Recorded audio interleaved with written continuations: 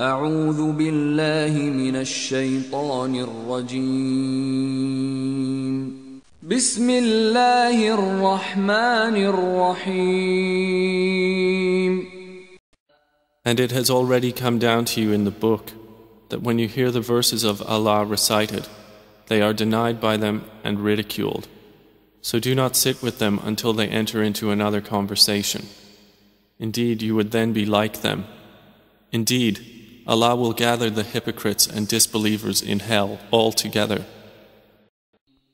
And when you see those who engage in offensive discourse concerning our verses, then turn away from them until they enter into another conversation. And if Satan should cause you to forget, then do not remain after the reminder with the wrongdoing people.